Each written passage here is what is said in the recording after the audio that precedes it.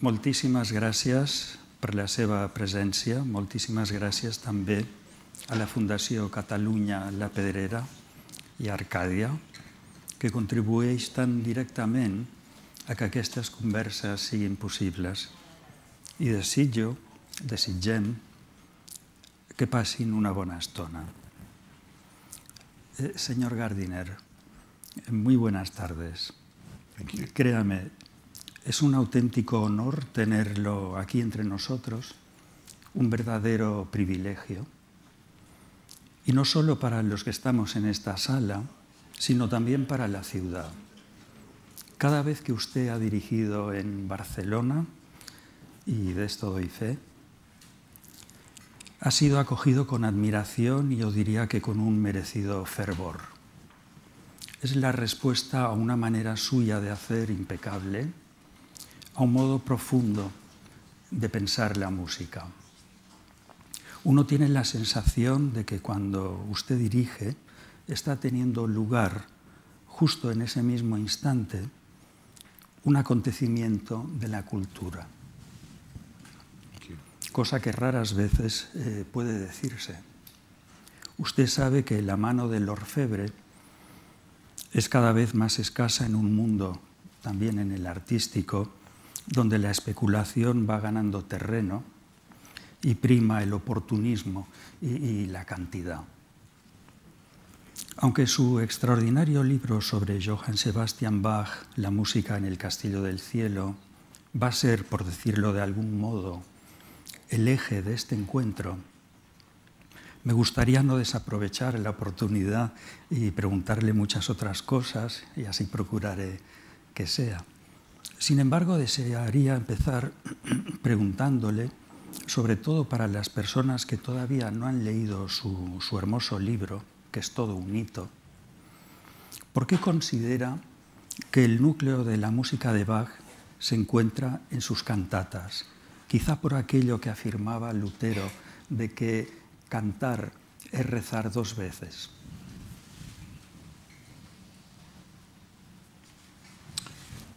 Um, to me, the cantatas of Bach are occupy a paradoxical position. Uh, on the one hand, they're what the Germans call Gebrauchsmusik. In other words, they're, they're musique d'occasion. They're written, um, they're composed uh, for a church service um, to be performed just before the sermon.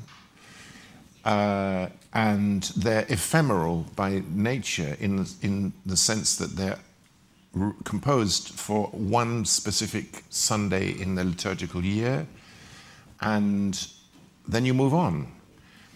And in a way, it's a bit like Charles Dickens writing his novels, that he wrote them in monthly installments, and then eventually it became a, um, a book. I mean, you know, uh, it's extraordinary that Dickens was able to to write episodes and then they all formed a cycle um, in a book. And in a way, Bach is doing the same thing. He, he wrote episodes or he wrote individual cantatas lasting 20 minutes to 30 minutes each. And they form an incredible cycle. And if you trace that cycle and you experience it as, as, as I have done, um, in the course of a whole year, you, you experience a great musical brain um, and understanding how religion and how the pagan uh, secular year coincide, how they, how they interlock. And in the process, it seems to me that Bach shows quite a lot of his not just his intellectual fiber and his, his uh, incredible brain power, but also reveals facets of his personality which you don't find in the other music so much. You, you understand how he struggled with certain issues. I mean, there he was at the back of the church in St. Thomas's in Leipzig, and he, his music rains down on the congregation like um, exocets, missiles.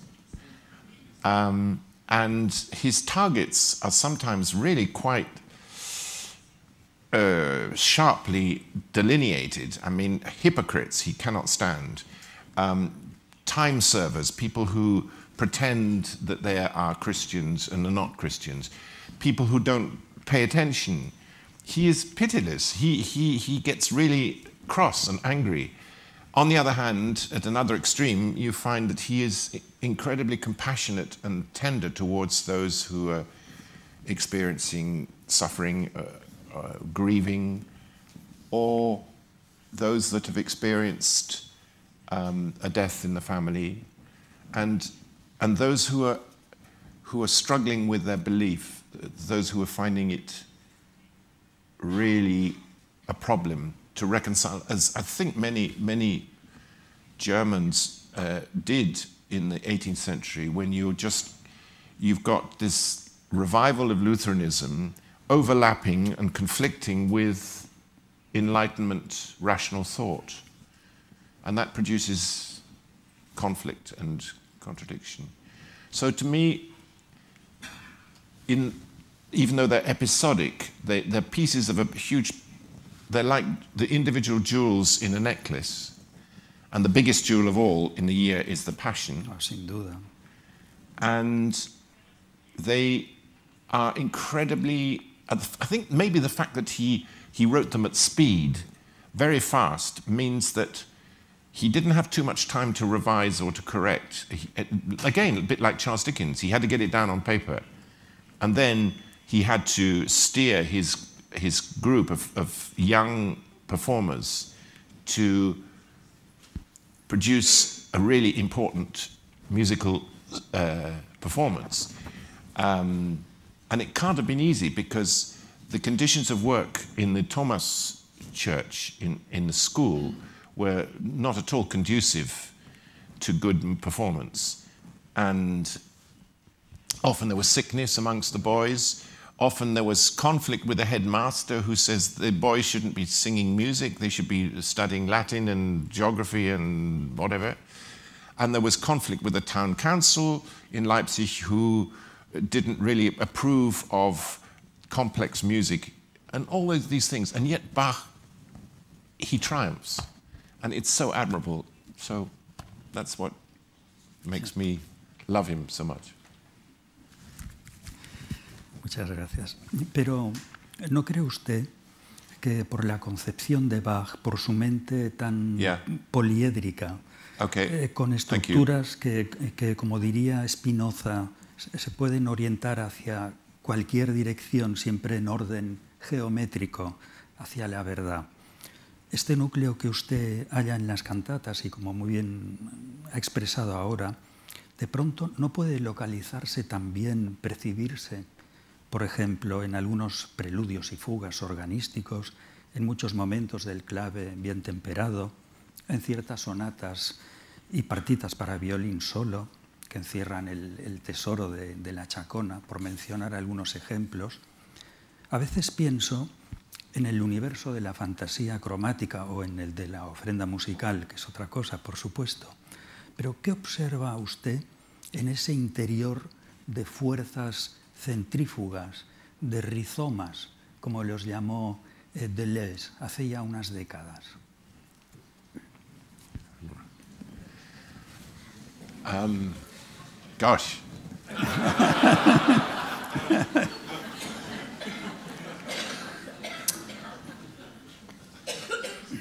I'm sure you're right. My problem is that I'm not a very accomplished keyboard player, so I don't have the connection, the, the physical um, connection with the well tempered clavier, with the 48 preludes and fugues, uh, with the great organ works um, that I do with the cantatas. And I think there is a. What's that noise going on? Is it somebody with a telefonino? anyway, um, to me, the, the moment that you combine music with text, with words, you, you are in a contra contrapuntal relationship between words and music, and it can be very fruitful. Um, if it's pure abstract music, as in the works that you mentioned, you don't have that human factor. You have the intellectual strength of a, a Spinoza, um, you have the ethical strength of, of a Spinoza or a Leibniz, um, but you don't have the sensuality or the human fallibility that you do at the moment that words and music are combined.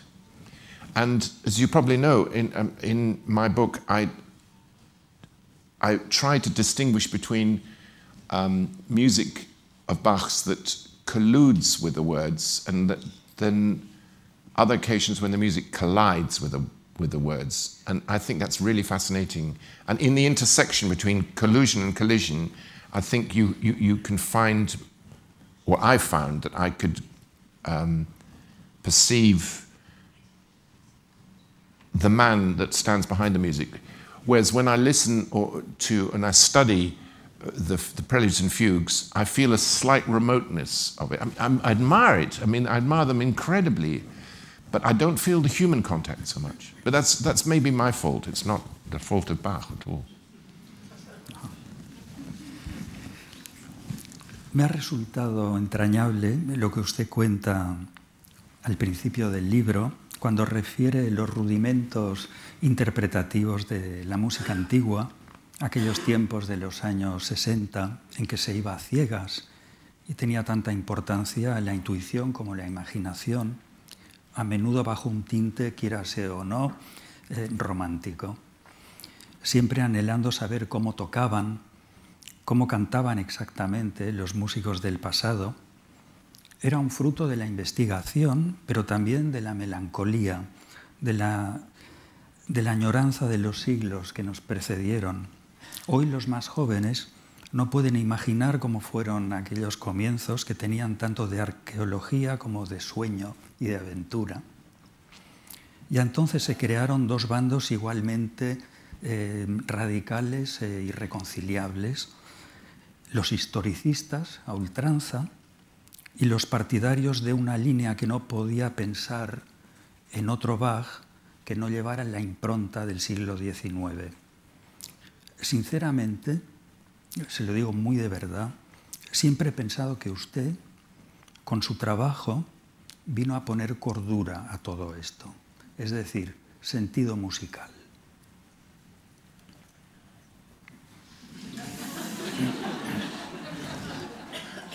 That's very kind of you. Thank you.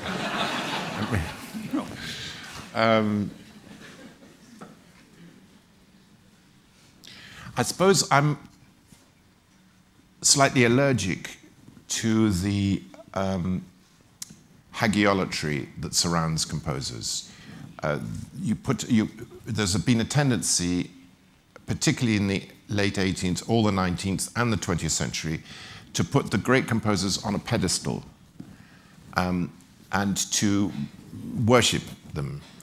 Um, I mean, it's, it's, happened with Mozart's case, it's happened with Beethoven, it's happened with Wagner, of course. I mean, God knows why, but then it has with Wagner, um, and, and, with Bach and Handel. And they all emerge like, well, marble, marble sculptures, busts, often with wigs. And they, they, they, they don't have any contact, or there's no blood or, or muscle or sinew or bones. It's just cold statuary. And that disturbs me because the music that, that I love, and it, it varies hugely because I'm, you know, people might think of me as a Baroque uh, specialist, but I'm not. Um, I love all sorts of music from medieval chant to contemporary music to world music. And I mean, I, in my uh, teens, I worked in, in Lebanon, in Beirut, and I played my violin accompanying Fairuz, the great Lebanese pop singer. Um, and uh, that was a huge experience for me. So I, am not just focused narrowly on, on one composer.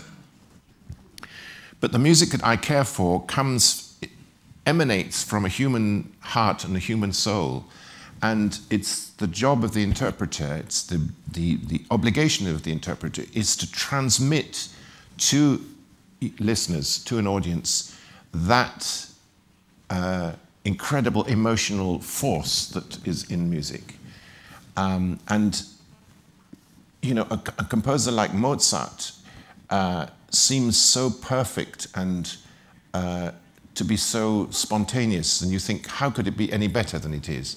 And then you think, well, how did, do I reconcile what I'm hearing in Mozart with the strange man who was Wolfgang Amadeus Mozart, who behaved like a child. He probably had Tourette's syndrome. He, he was semi autistic in some ways. He was extremely uh, ill behaved.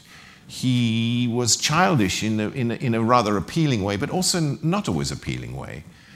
Um, do, is there a correlation, therefore, between the human being and the personality and the greatness of the music? Well, there has to be some. But with, with Bach, it was a real problem because Bach is so remote, in a way, from uh, our experience of him as a human being because there's so few facts, there's so few letters, there's so few um, really uh, strong factual basis uh, of his character. And therefore, you know, one is struggling to as a, as a historian and as a musicologist, one is struggling to try and verify every conclusion you have and to, to, to, to establish fact from fiction and fact from mythology.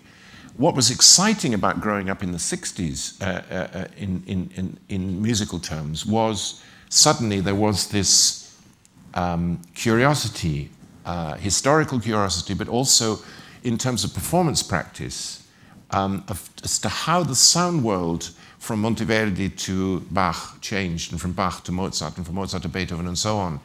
And it, suddenly music emerges in the hands of these pioneers, the great pioneers. Um, I'm thinking of people like Gustav Leonhardt and, and uh, Nicolas Harnoncourt and the Kuijken brothers, and people whom I, I was influenced by and revered.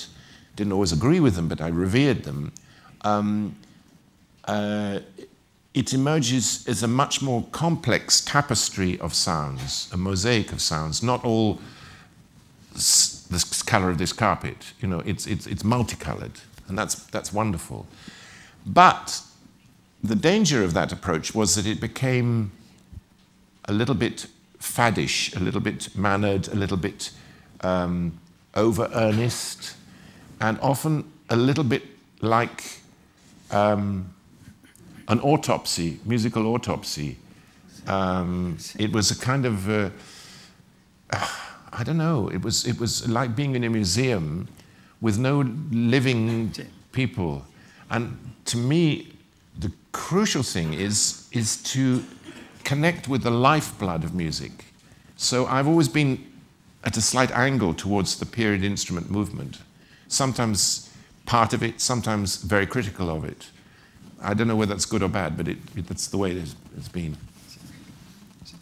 Por eso le he dicho que, que usted vino a poner cordura. Era por eso.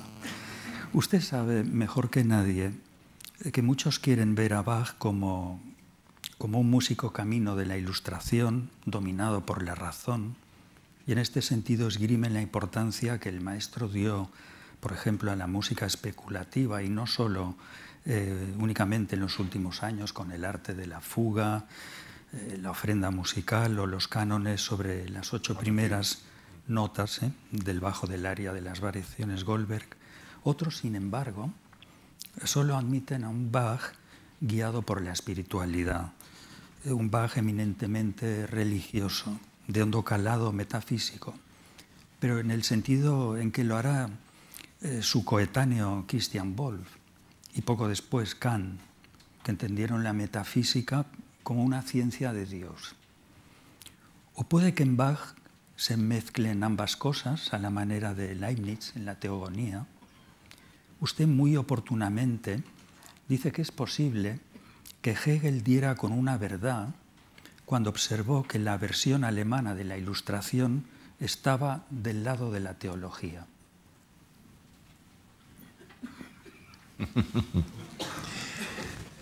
Yeah, I think Hegel was right about that. Um, and I think, I think that this makes Bach such a, um, a, crucial, transitional uh, figure um, between uh, Lutheranism and rational thought. Um, and he, even though I don't think he was an intellectual, and was, he certainly wasn't a, a, um, a university trained academic. And he suffered, I think, as a result of, of being uh, mocked or at least um, downgraded by some of the intellectuals uh, in Leipzig in, in, the 1730s and 40s. Uh, people like Gottsched, who was the great literary uh, figure of the time, because he spoke with a, a strong Thuringian accent, because he was a church musician, um, you know, he was not perceived to be um, quite of their level. And even his sons, I mean, imagine how difficult it must have been to be a son of Johann Sebastian Bach. I mean, Wilhelm Friedemann, his eldest son, uh, had a nervous breakdown, and you, you'd understand that if you were Bach's son, because the standards were so strong and his relentless um, pursuit of discipline. Um, but Carl Philipp Emanuel, the second son, and I think Johann Christian, um, the so called English Bach, the one who came to England, they looked a little bit condescendingly at their father and thought, oh, he's old fashioned. Um, you know, he's not, he hasn't the culture, he hasn't the, the broad, uh, empfindsam, uh, uh, there was a German word, the, the, the sensibility um, of us, the new generation. That must have been very painful for Bach, for Johann Sebastian Bach. Very painful. And actually, there's a very interesting new volume that's come out in the, in the, in the new Bach edition, published by Bärenreiter. Um, it's of fugues, preludes and fugues beginnings, just the incipits. Uh, and it, it's, it's Johann Sebastian Bach and his eldest son, Wilhelm Friedemann. And it's though, as though the two of them are sitting in a, in a Weinstube or a bodega with a, a gla nice glass of Rioja, or probably uh, beer in their case, um, in Dresden. And two colleagues, father and son, but two professionals. Um, and Wilhelm Friedemann starts off with a fugue subject and then suggests the counter subject. And Johann Sebastian, the father, just leans across and says, Yeah, but how about this instead? Wouldn't this work better? It gives you more possibilities. So then Wilhelm Friedemann goes back again and writes in, and he says, yeah, this is all in musical notation. This is not in speech, in, in writing. This is just musical notation. It's two men, two great musicians having a, a conversation with notes, musical notes. And on it goes, and on it goes, and you can see the, the proposal and the counter proposal. And every time Bach, in a very subtle and not a condescending, not a patronizing way, comes up with the perfect solution. That must have been exasperating for the, the, the, the eldest son, knowing that his father just had this brain and, and mastery, superb mastery.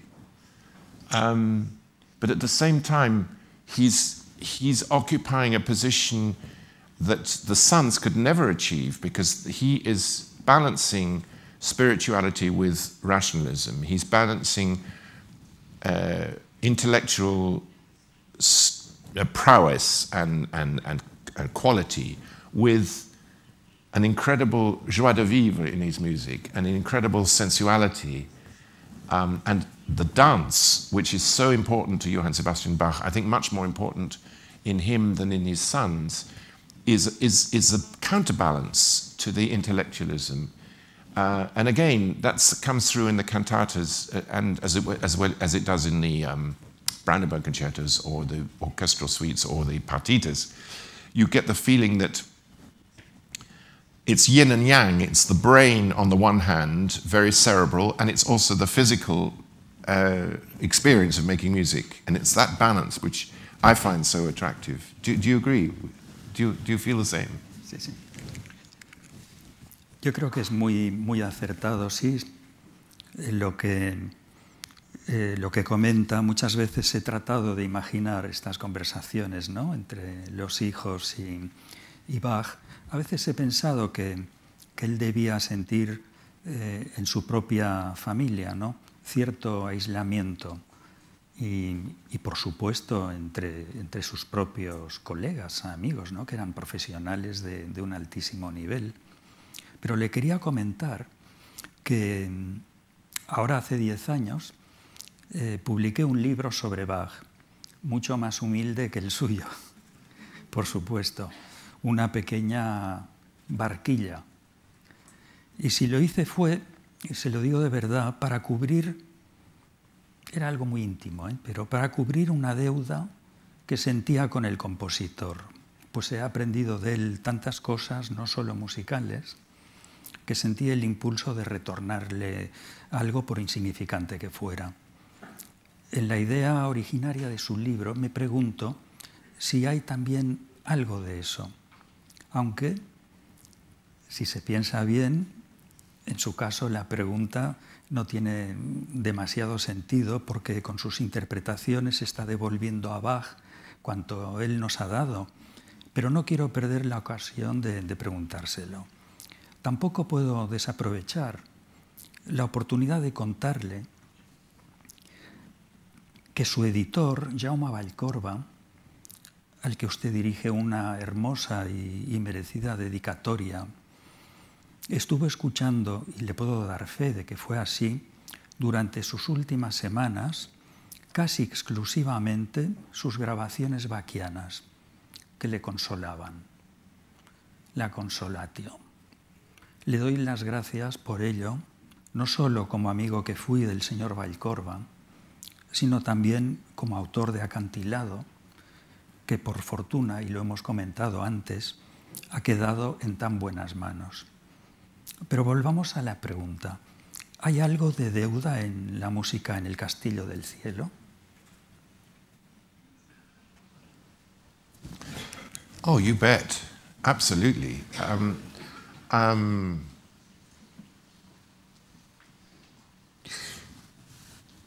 it's also, uh, I have to start by saying that it's also a debt to my parents because um, thanks to my parents, um, I grew up in a musical household, an amateur, uh, not professional, but of, uh, where music was part of daily life, was part of, um, uh, yeah, it was, it, I grew up on a farm.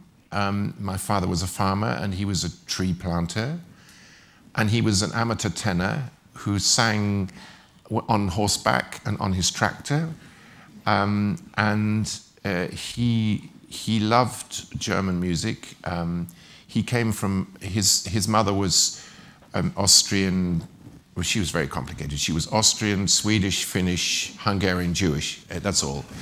Um, and uh, he, he grew up in Berlin uh, because his father was, uh, Sir Alan Gardiner was an Egyptologist at the um, Pergamon Museum in, in, in uh, Berlin. And my father and his sister, my aunt, they lived the first 12 years of their life in Berlin. Um, and uh, later on, uh, the father became one of the uh, discoverers of Tutankhamun's grave.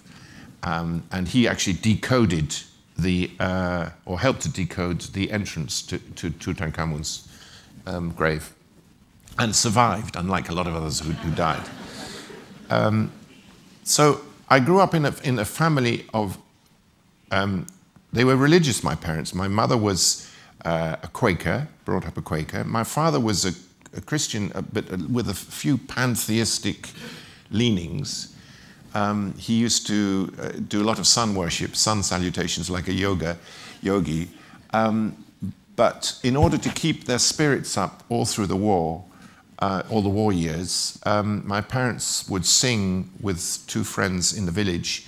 They would sing the Mass for Four Voices by William Byrd, the great English composer of the contemporary of Shakespeare.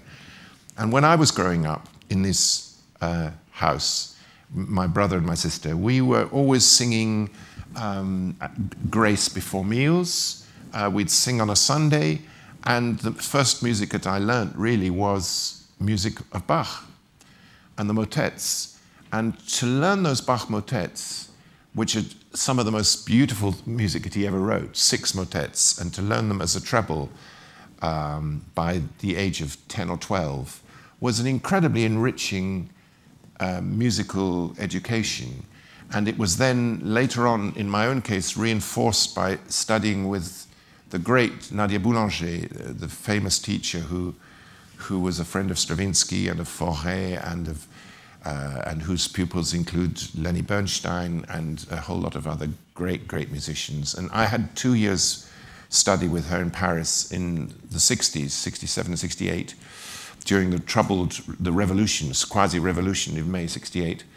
And she taught me harmony and counterpoint very much in a, in a Bachian style. And I feel that I owe a huge debt to her, to my parents, and to Bach for educating me in that way.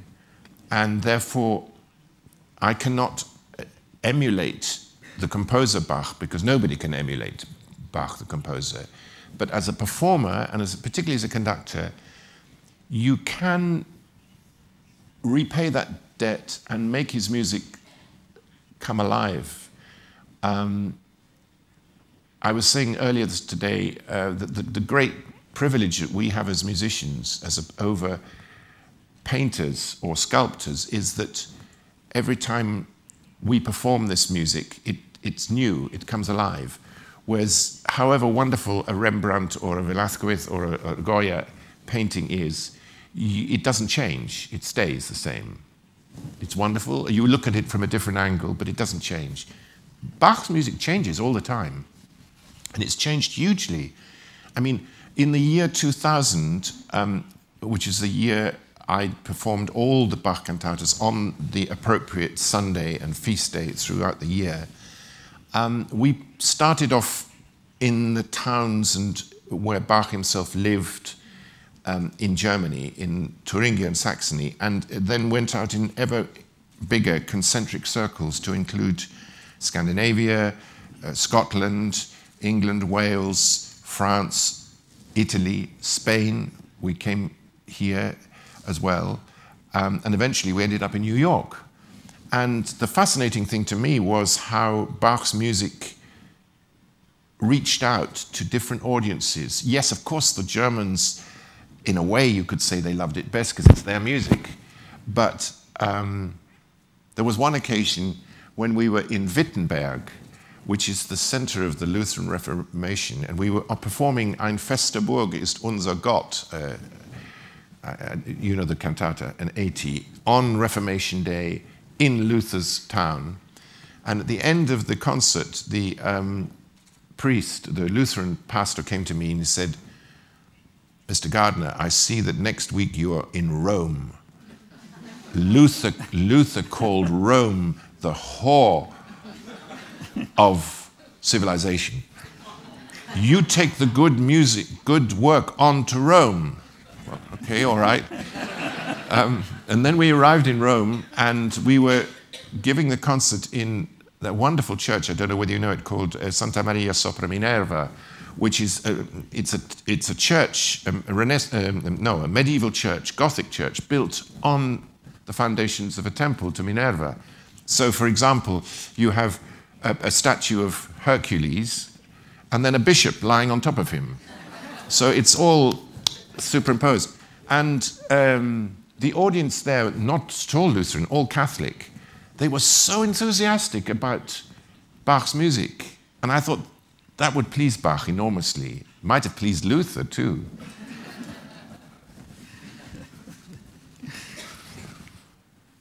En un libro como Búsqueda sin término, Karl Popper escribió que la polifonía es la organización más inaudita, original y verdaderamente milagrosa de nuestra civilización occidental. Le parecía un absoluto milagro. Debo de confesarle que a mí también. Resulta admirable que lo diga un filósofo. Y mi pregunta la formularé ahora a la inversa de cómo acostumbra a plantearse o a pensarse, es decir, teniendo en cuenta la capacidad de influencia de la música sobre el pensamiento y no al revés. Por eso desearía saber si usted cree que la música ha influido sobre la filosofía, sobre el pensamiento de Occidente, si lo ha determinado de algún modo, si nos ha conformado, aunque quizá no lo percibamos. Hay cierta estructura musical que se puede encontrar bueno, en muchos filósofos, pero por poner unos ejemplos, Wittgenstein, Bloch, Deleuze, Cacciari, mucho antes Husserl, Jankelevich, Nietzsche, por supuesto. Esta era mi, mi pregunta.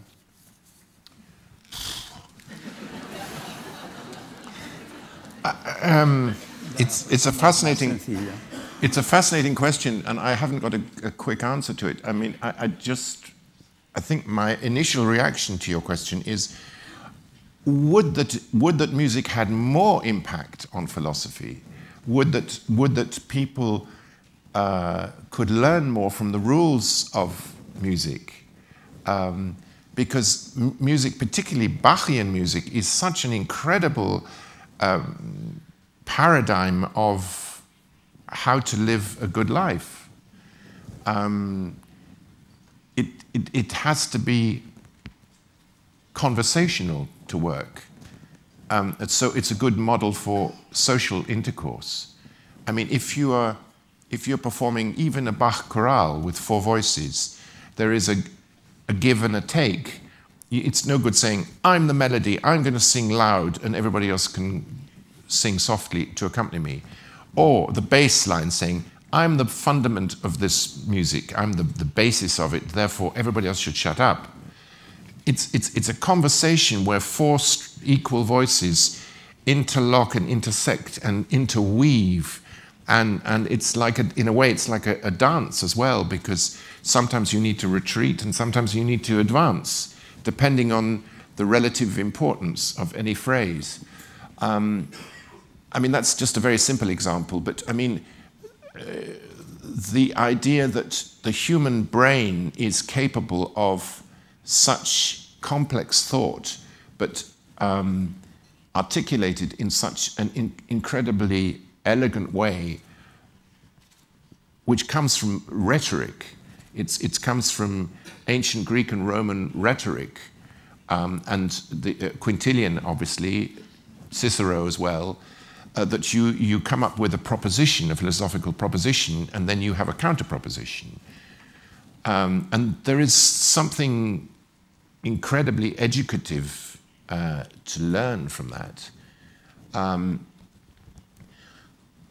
I do think that, that, that Bach has had a very positive impact on the way people, not just musicians, but the way philosophers and the way thinkers um, develop their thoughts. I mean, you, I'm sure you will know that there's this, this exchange of letters between Zelter and Goethe at the end of the 18th century, um, when Zelter, who is conducting some of the Bach cantatas and passions and motets, says to Goethe, You must go and listen to this music. And Goethe hears it and is completely overwhelmed.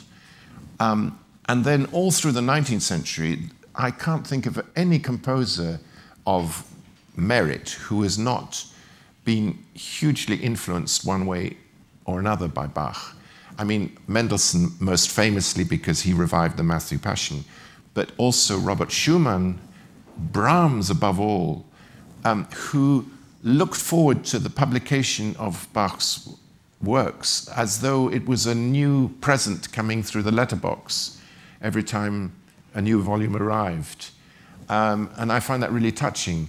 And also that um, Robert Schumann, every time he had mental problems, which was quite frequently, he found his way back to sanity was by playing Bach preludes and fugues.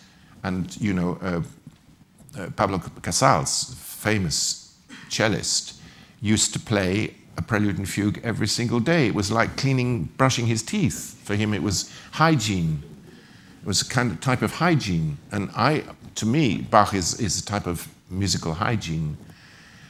Um, then things go terribly wrong, don't they, in the 19th century? I mean, there's this great figure called Richard Wagner, who is about as anti Bach in every way as you could imagine, and who, who is close maybe to Nietzsche in terms of, or Schopenhauer in terms of his philosophy, but it's a very different philosophy from that of the enlightened figures. I mean, you mentioned Spinoza, who is a great hero of mine, Isaac Newton, uh, Leibniz, uh, who are all, and, and the early um, French philosophers uh, as well. I mean, particularly uh, Voltaire and um, Montesquieu.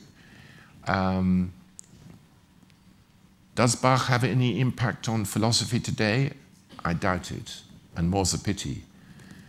And wouldn't it be fantastic if our politicians, instead of arguing with each other, started each meeting by singing a Bach chorale? How wouldn't that be? Wouldn't that be fantastic?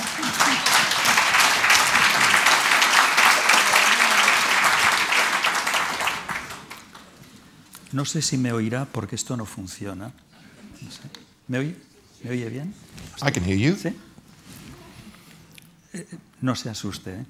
Eh, San Agustín escribió en el Tratado sobre Música que los números discurren en medio de un insondable espacio en armoniosa sucesión y lo que llamó números sonoros forman el todo, la unidad. En la divinidad hay número, decía. ¿Qué peso tuvo esta concepción en Bach? El número. Después, lo que se ha dado en llamar la numerología secreta. Fue tan determinante en él como pretenden algunos libros que analizan las partituras de Bach y las estudian como si se tratara de un laberinto numérico. Y otra cosa que desearía saber, señor Gardiner, si fue tan significativo en él la presencia de la simbología, más allá de ejemplos muy evidentes como el caso del preludio y fuga en mi bemol mayor, BWV 552, con tres bemoles, en la armadura, tres secciones y tres grupos temáticos. A veces pienso que ciertos estudiosos tratan de buscar eh, lo que Bach no pretendió unos autores franceses han querido presentarlo hace muy poco como un alquimista. ¿Qué, piensa usted de, de todo esto? I think you're, we are all in danger of going back to the old um, mythology and of putting Bach on a pedestal and saying he is the supreme thinker. He is the alchemist. He is the supreme mathematician. It could be so, and uh, I personally think that Bach was un, un no, not unnaturally, was exceptionally um, perceptive as an intuitive mathematician. In other words, he he didn't have to count out the number of bars in order to create exactly BACH, his initials, in, which come up to 14 or 42 if you put in Johann Sebastian Bach. He didn't need to do that. It was an intuitive thinking on his part. And I think he had an, an exceptionally developed sense of proportion and of ratio it doesn't mean that he followed the golden mean exactly in, in all his compositions. And there's certainly one or two numerologists now around who are trying to say everything can be reduced to numerological proportion. I think, honestly, that's exaggerated uh, and not even terribly interesting. I mean, what is interesting is how we respond to the music. And if, if, if there is something intrinsically proportionate about his music that we assent to, not, not as in a computing, calculating way, but just because of the, the, the presence of the rhythms and the satisfying proportions and rhythms, that is uh, something to be grateful for and to uh, applaud him for, rather than to turn him into a demigod uh, uh and to, to, to, to worship at, at, the, at the, on your knees. Yes, of course he's admirable. Yes, of course he is influenced by the early Christian fathers, including St. Augustine. Um, but he is a man like you and me as well. He is a man who, who, who is of flesh and blood and who was a father of 23 children and who enjoyed the good things of life and who, who managed in, in such an exceptional way to balance the cerebral and the physical and the, the mathematical and the purely um, instinctive and intuitive. And to me, that makes him a much more interesting figure than if he is just a perfectionist. Yes, you can admire the perfection, but the perfection then becomes something a little cold. Whereas if you understand me, you referred earlier to the solace and the comfort that he can bring to people who are going through a grieving process. And it's absolutely extraordinary that. And I've got so many examples of that in my own uh, friendships with people uh, who have been, who are maybe atheists or agnostics, or not even particularly musically inclined, who listen to a Bach cantata or a motet and immediately feel um, a warmth and a, and, a, and a, spiritual glow uh, which is inexplicable. Um, there's a series of cantatas that Bach wrote on the, for the 16th Sunday after Trinity, um, which are all to do with um, they're all to do with the death of very young children in, in, in childbirth. And of Bach's children, I think it was 10 who died before the age of two and a half or three. So death was ever present in his life, in his, in his own life.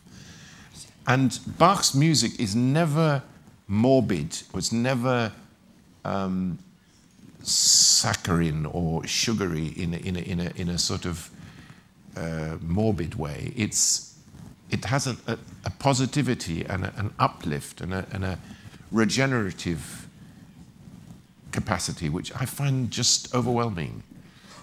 It's, it's, it's so beautiful. Um, and it, it, it, I would counsel anybody who, who, who really has a problem with, with grieving or bereavement or even doubts about their own psychological state of mind, just to, to enjoy listening to, to Bach. Be, be very selective, but you know, it could be the cello suites, it could be the violin partitas, it could be the, the great chaconne, or it could be the cantatas he wrote for the 16th Sunday after Trinity, which I'm particularly fond of.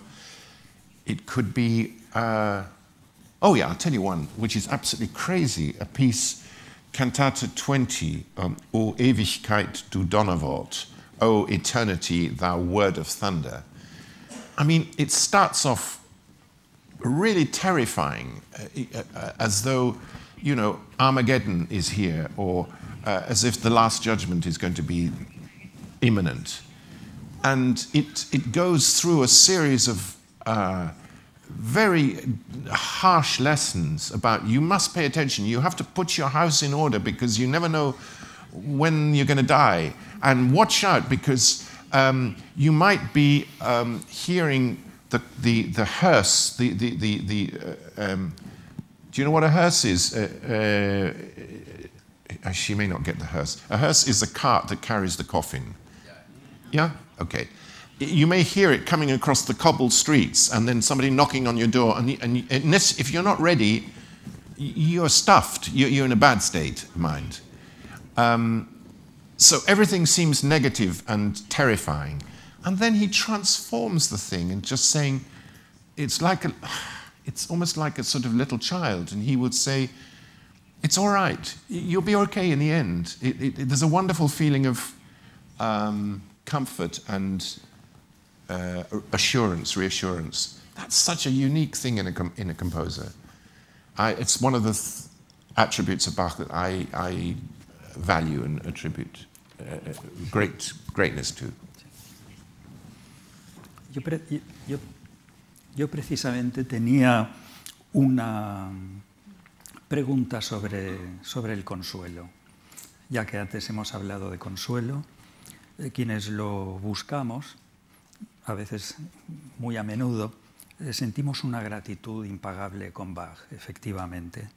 Quizá él a su vez buscó ese consuelo en la música porque estuvo, como muy bien ha dicho en otras ocasiones, eh, rodeado de muerte, eh, como le sucedió, y así lo refiere en su libro, a Mark Twain. Recuerdo que, que lo menciona. No solo la muerte de personas cercanas, sino la crudeza de, un tiempo, un tiempo que le precedió, eh, atenazado por la enfermedad, por la guerra, eh, pura indefensión. Mm, me ha gustado mucho que, que, usted incorpora un soneto de Grifius, que es un poco el equivalente literario de, de un pintor español, de Valdés Leal, eh, donde se ve la, propia descomposición humana del espíritu, del cuerpo. Pero usted dice textualmente en, en, su hermoso libro que nadie más que Bach ha compuesto música consoladora y lo asombroso es que, que pronto, muy pronto adquirió ese don ya a la edad de 22 años al escribir Actos Tragicus. La música, quizá más que ningún otro arte, tiene esa capacidad de, de consolar, tenemos ejemplos de esa virtud consolatoria incluso en la literatura egipcia, ¿eh? los cantos de los arpistas egipcios en la Ilíada, también en Virgilio, y entre paréntesis le digo que usted como buen granjero le gustarán las geórgicas. En la música occidental hay ciertos compositores... Janine, Janine, say that again. en la música occidental hay ciertos compositores que tienen un don especial para, la para el consuelo. Y estoy pensando en Parcel, en Mozart, en Schubert. ¿Qué puede decirnos sobre esto? Janine, you lost me there. You, there's one word there back there. I hadn't a clue what you were talking about. You were really losing your grip, you know. She's not. She's doing great. I have to tease her a little bit. Um, I'm sure you all know that Bach lost both his parents uh, by the time he was 10. So he was doubly an orphan.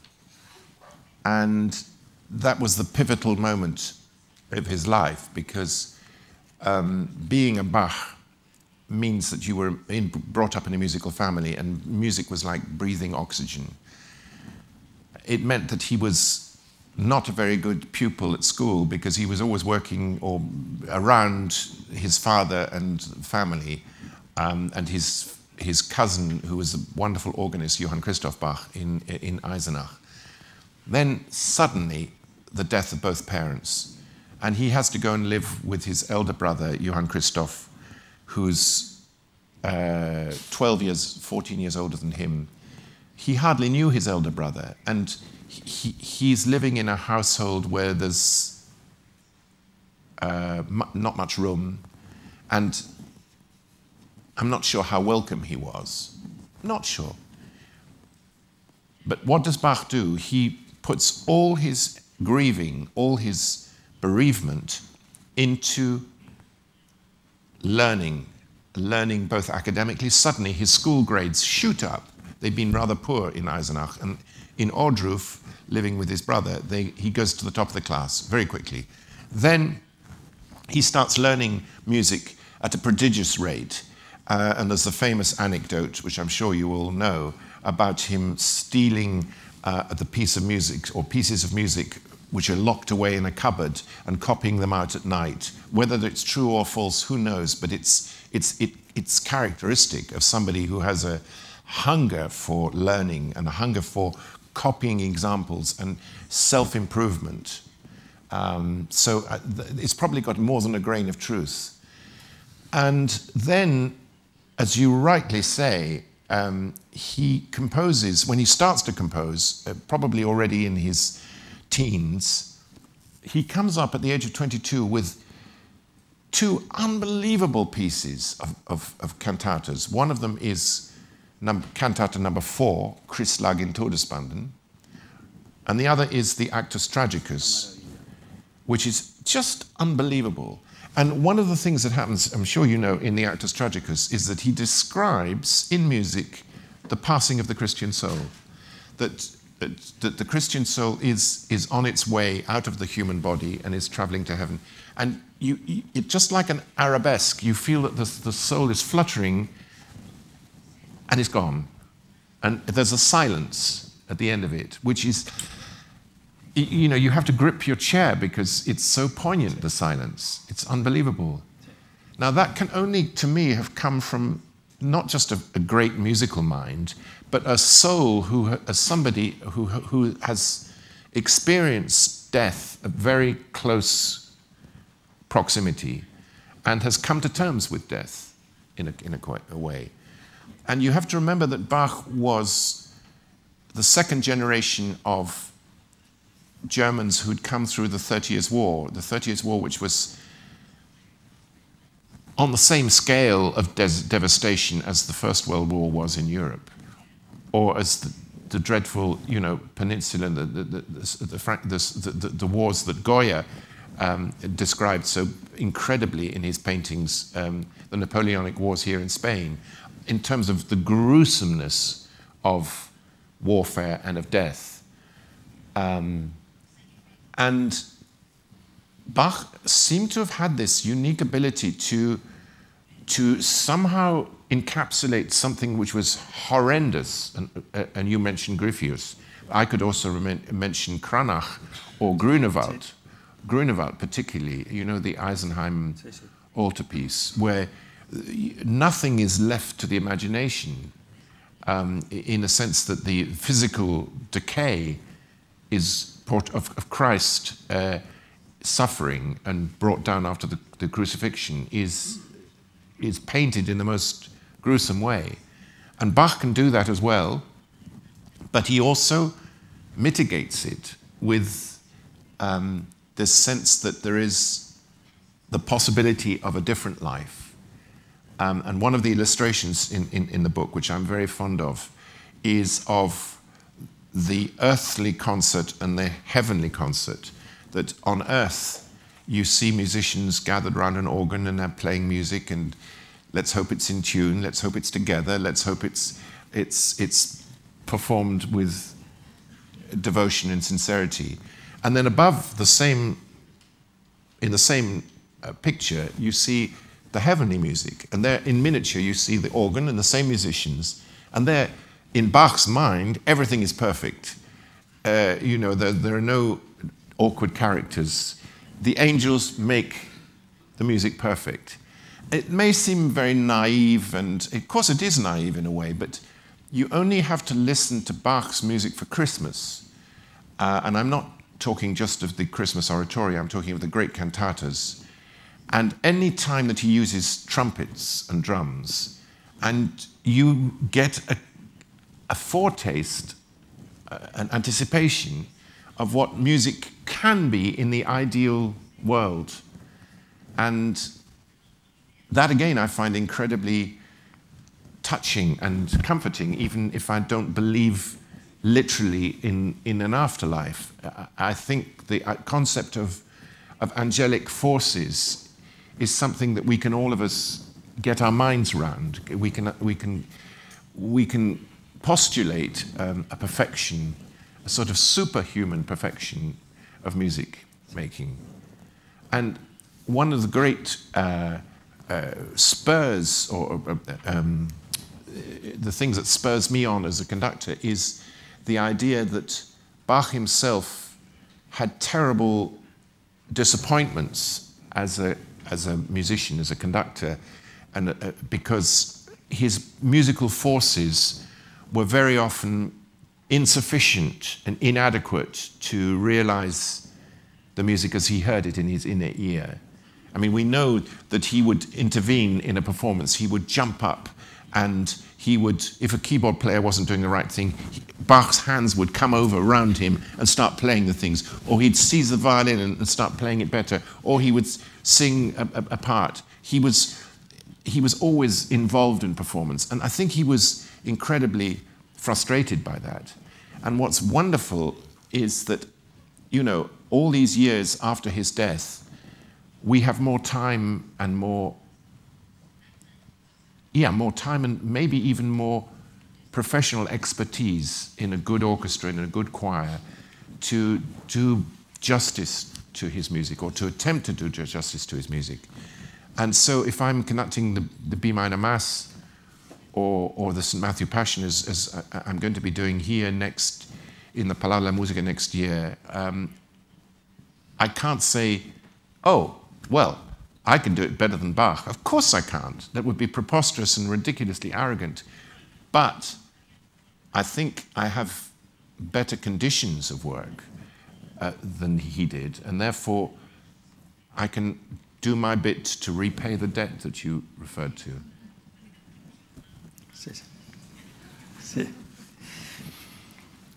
Eh, se nos está terminando el tiempo. Yeah. Tenía un montón de, de preguntas, preguntarle sobre su amplísimo repertorio. Como usted ha dicho, no es eh, solamente un, un director de- del repertorio barroco.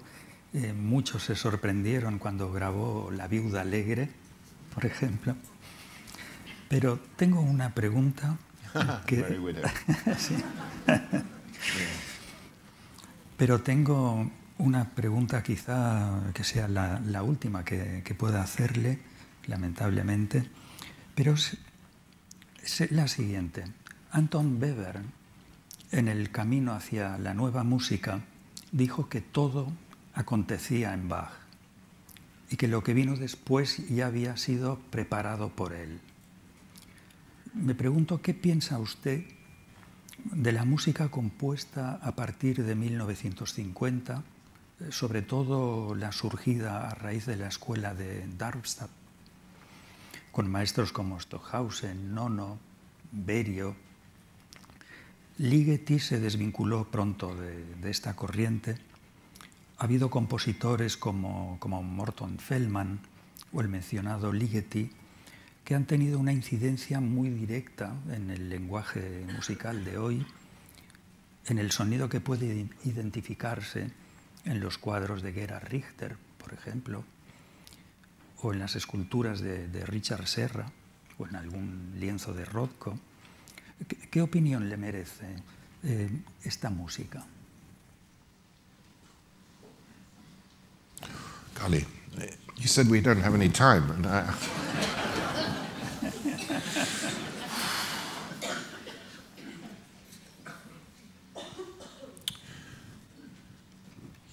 well, in no particular order, The Merry Widow of Lehár is the most charming and wonderful piece, not very influenced by Bach. But I can tell you, um, performing and conducting that with the Vienna Philharmonic um, about 15 years ago was a huge pleasure. And it also, with the fee that I got from conducting that, I was able to, to build a, um, a barn for my cows in, in Dorset. It says Merry, Merry Widow um, on the outside. So, um,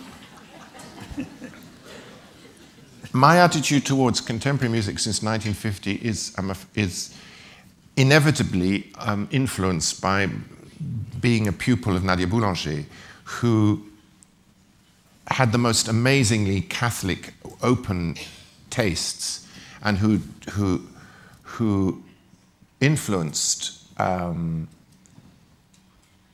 composers such as Elliott Carter, Aaron Copland, uh, uh, Roger Sessions, uh, a lot of English composers as well, Br- British composers, um, and who had a very discriminating um, way of assessing the validity and the, the, the, the, the worth, the underlying worth of a piece of composition. So I, I, I tend to approach contemporary music very much with her, her warnings and her um, uh, alarm system in, in my ear.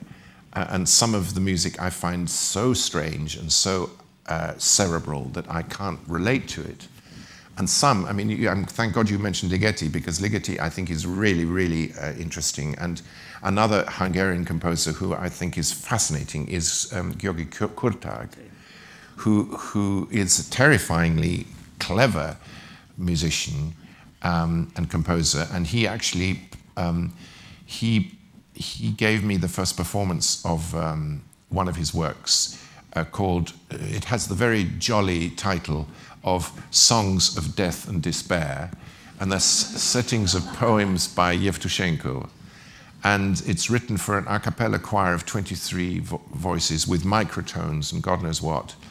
And it's incredibly complex. And uh, the composer came to my rehearsals uh, and he expected a performance from the first rehearsal. And my choir was struggling because of the microtones and the fact that it was written in Cyrillic as well. Um, and the barring was so complex. And I could see Georgi was getting really quite irritated. And I thought, what can I do about this? Um, and it got to the evening before the performance. We were in Amsterdam the, doing it in the Concertgebouw. And thank God I met Pierre Boulez in the corridor. And I said, Pierre, are you free tomorrow? Could you, could you conduct this piece? Because I, I really can't do it. And he said, no, my dear, I, I, I, cannot. I cannot conduct it. I am not free. He said, what you have to do, is you have to rebar, rebar it, rebar it, put different bar lines in. And I said, I can't do that because he's there. He said, don't worry, my dear, I come, I take him for coffee. and he did. Pierre came the next day and he took Georgi uh, Kurtág out for coffee. And in that time, I had 10 minutes and I managed to rebar it and get it all, and it worked. It sort of all aligned suddenly. Whoa! And the performance was just about okay, but the composer, I couldn't fool him. He said, I know what you did. You rebarred it, didn't you? anyway. Señor Gardiner. Thank you. Muchísimas gracias. Muchas gracias. Muchas gracias. Fantastic. Fantastic. Thank you very much.